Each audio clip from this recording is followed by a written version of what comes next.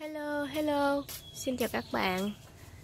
Thì hôm nay là sáng ngày 28 tháng 4 năm 2020 Thì sáng nay mình sẽ giới thiệu ờ, đến các bạn ờ, cái lô bông trang màu vàng nghệ Thân một cốt Cao, thoát thân Từ ờ, 5 đến 6 tấc nha các bạn. Mình đo là hơn 2 gang tay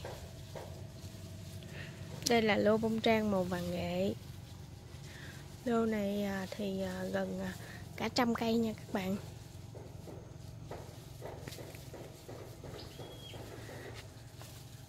Đó, màu vàng nghệ rất là tươi. Thì theo như mình đã nói trong các video trước, màu vàng nghệ này nó tươi á, nó giống vàng 4 số 9 cho nên rất là nhiều khách ưa chuộng và đặt mua thì sáng hôm nay à, màu vàng nghệ thì mình à, cũng có giao được à, một anh khách ở Trảng Bơm, Đồng Nai. Đây công ty nhà máy ấp trứng ở Trảng Bơm Đồng Nai anh Khởi. Thì anh đặt mình là hai cây bông trang màu vàng nghệ thân một cốt dưới hai cây màu tím sen là tổng cộng là 4 cây.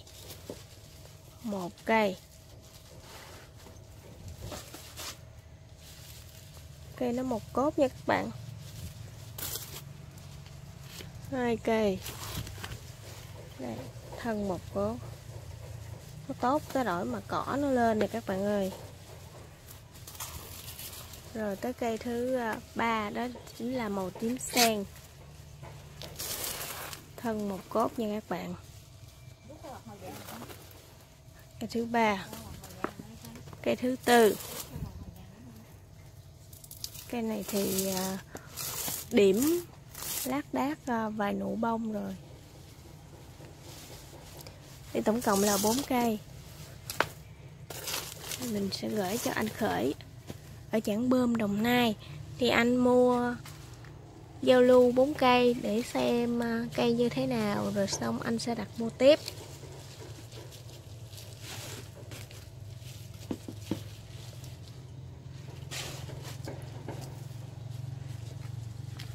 Rồi mình à, giới thiệu sơ lược cái đơn hàng của anh khởi.